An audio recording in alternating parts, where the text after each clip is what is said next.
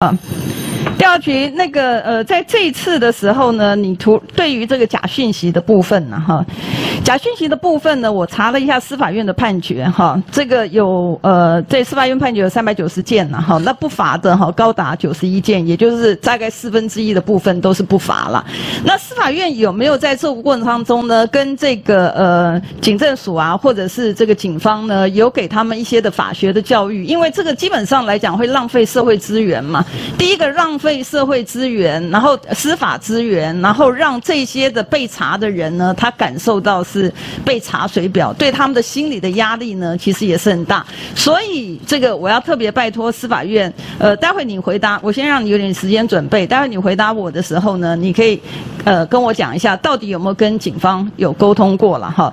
那我要请教是调查局哈，就是说调查局，您在这个地方在查这个假讯息的部分呢，你对于老百姓跟对于行政单位是不是一致的标准呢？是还是不是？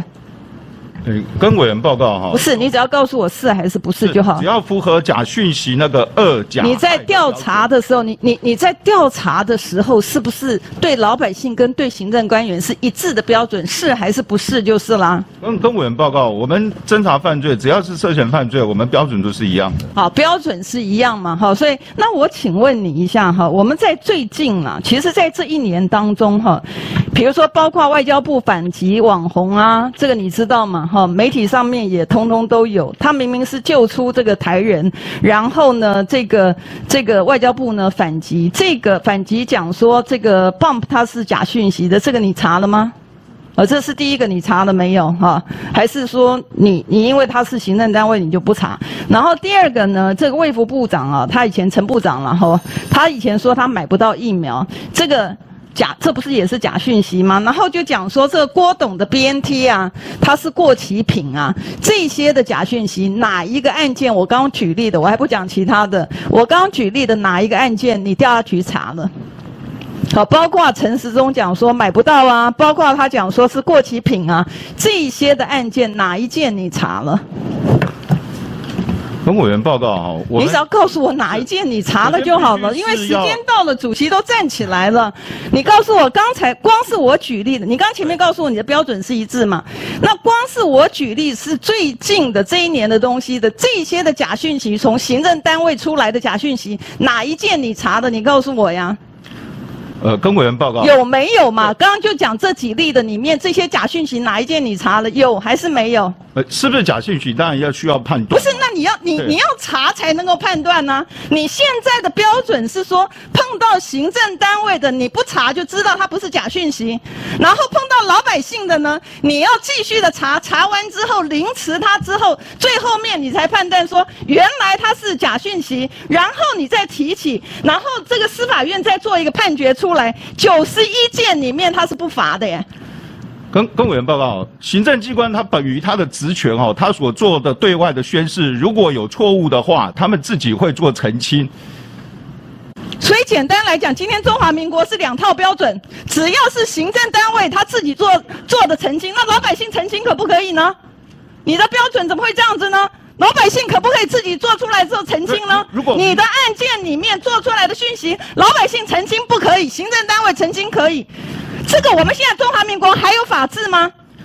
民众他如果自己发讯息发错误，他有做澄清，不符合二甲害的要件的话，那你为什么会你为什么会今天有这个情形？三百九十件，九十一件不罚？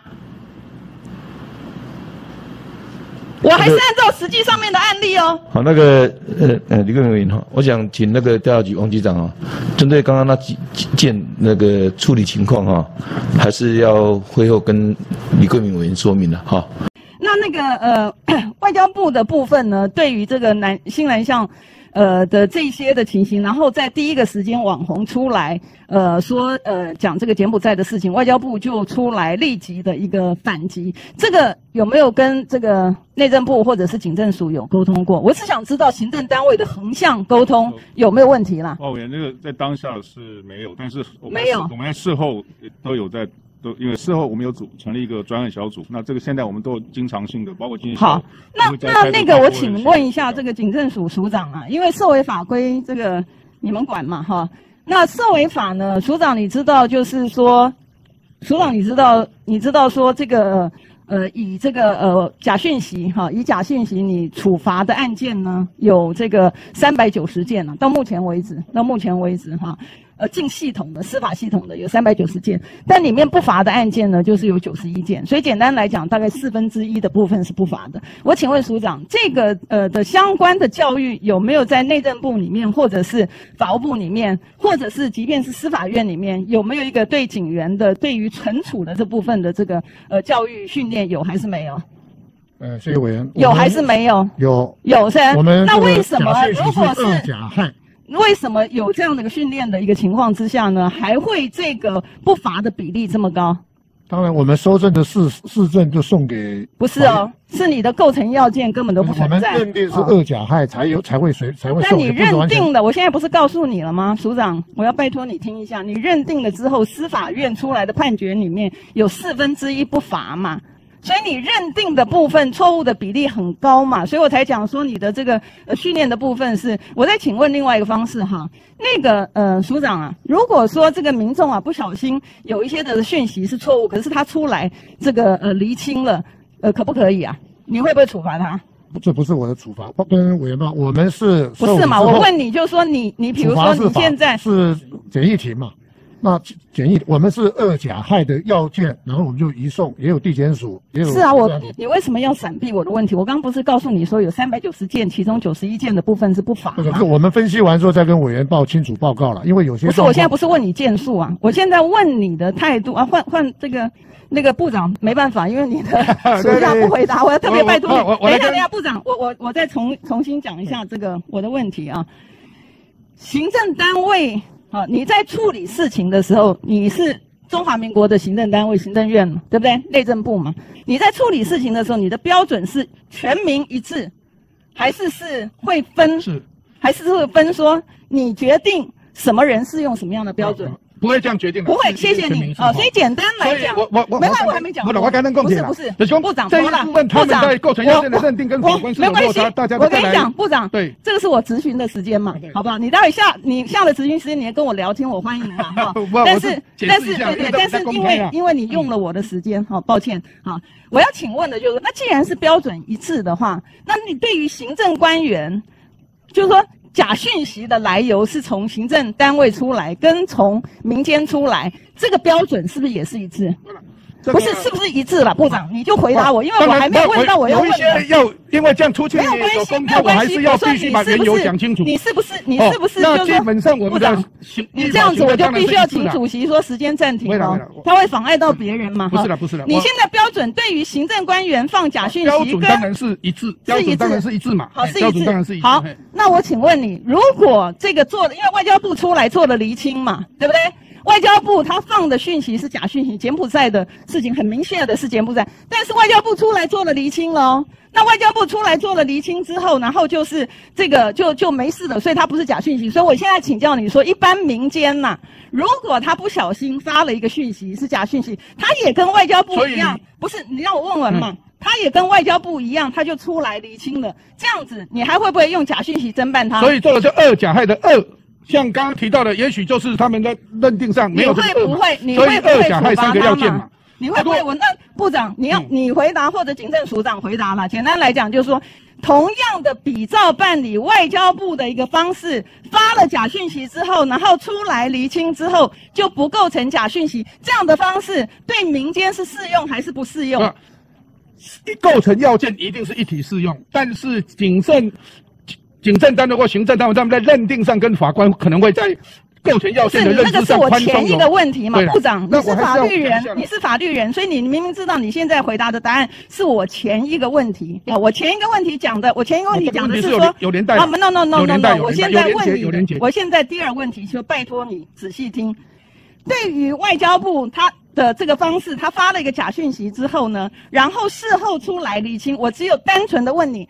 同样的情形在民间，如果民众有不小心有一个假讯息发的时候，他也出来厘清说，哦，我弄错了，这个其实是错误的讯息。这样子，你还会不会用假讯息办他？所以要看他有没有恶，有没有假，有没有害嘛。如果他没有恶。那当然，也许是假，他澄清，那当然没有恶，当然还是不构成啊。所以要件还是要构成要件去分析。构成要件，那个徐部长啊，你这样讲，我觉得就没意思了。构成要件就在这里哈，不是不是不是，构成要件在这里啊，构成前页，构成要件在上面写的很清楚啊，散布谣言足以影响公众的，所以这就是是啊，二甲害要有嘛。不是你不要讲那个什么二甲害嘛，你的害，你的构成要件在这里，你不要再取一个名字嘛，因为我们都是法律人，对不对？法律人，你的名字你不会因为你自己给他取一个名字。它的构成要件就不一样嘛？涉违法六十三条的构成要件就是现在在投影片上面的嘛？它上面有没有“二甲害”三个字？没有嘛？所以单纯的回到这个法条的部分前页，回到这个法条的部分，有没有足以？这个就是整个状况嘛？那我现在问你了，我刚刚前面就问你说你的标准，no no no no no，你的我对现在把案子移送，你现在案子，我是内政部长，我不是，我知道警察单，我知道，所以我刚才特别才问你。我刚才特别，我本来问，我我我本来问，我本来问署长嘛，对不对？但是呢，署长把时间这把它跳到别的议题。我的问题很简单，你刚才前面既然告诉我所有的标准是一致的，对行政官员也好，对老百姓也好，既然标准是一致，我现在问的问题就是说，外交部已经有一个先例，在 Bump 的这个案件里面呢，发了假讯息，然后出来道歉，所以它不构成哦，所以它不构成。那现在我要请教的就是说，那你警政。署，哦，警政署刚才部长是因为警政署署长不回答，那只好你部长回答了，不然怎么办呢？对不对？啊，那简单来讲，你就是假讯息啊！你说人家，嗯，没，哇塞，你你你，这位网红，你你真你真的还是能够张着眼睛说瞎话，我也真的是佩服你。这个地方是在国会的殿堂，如果你没有发假讯息，你又何必跟他道歉呢？对不对？那你今天，我今天我今天现在直接讲了哈，直接讲。今天呢，在这个调查局，我们在司法法制委员会的时候，他那个局长还特别提到，他说呢，为什么几个连续的所有的假讯息的案子，由政府出来的假讯息的案子，为什么到目前为止没处理的原因？举外交部的例，就是因为外交部已经发了一个厘清的函，所以我只是很卑微的帮我们的民众请问一下，如果民众碰到类似的情形，他也出来厘清，你办不办他？办不办呢？现在问我吗？不是啊，你的署长要先回答，署长不回答就只好到部长了。嗯，委员报告啊。办还是不办？不是，我要说明过程。不要不要不要不要！我现在问你个案，人家刚才部长部来说明有没有这个？No no no no no！刚才我现在问你的是标准，我们现在不谈个案，我们谈的是原则，谈的是标准。我们在国会殿堂里面不是谈。我们受理以后由法院来裁嘛，我们没有办法自己决定有没有罪啊。到到检疫庭让他来裁，到地检署也让地检署处理。你这个我觉得法学教育可能要再上一下了，好不好？